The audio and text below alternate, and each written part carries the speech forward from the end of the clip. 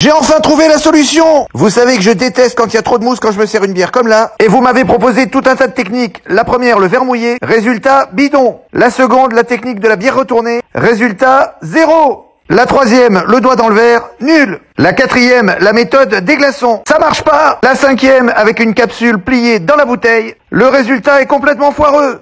J'étais désespéré, mais j'ai enfin trouvé la technique qui fonctionne. Et franchement, c'était super simple, j'aurais dû y penser avant. J'ai disposé mon verre, je prends maintenant ma bouteille de bière bien fraîche. C'est une Heineken, je sais pas si vous aimez ça, dites-moi en commentaire votre marque de bière préférée. Je vais la décapsuler avec précaution pour pas la faire mousser à l'ouverture. Et je vais la poser délicatement sur le comptoir. Je prends maintenant une bouteille de whisky Jack Daniels, je sais pas ce que vous pensez de cette marque, et je vais en verser un tout petit peu au fond du verre à bière. Vous avez été nombreux à me dire qu'il fallait pencher le verre, mais c'est pas la peine Je vais verser la bière directement sans précaution, et regardez-moi ça, c'est absolument magique La quantité de mousse est parfaite. Dis-moi en commentaire si tu valides cette astuce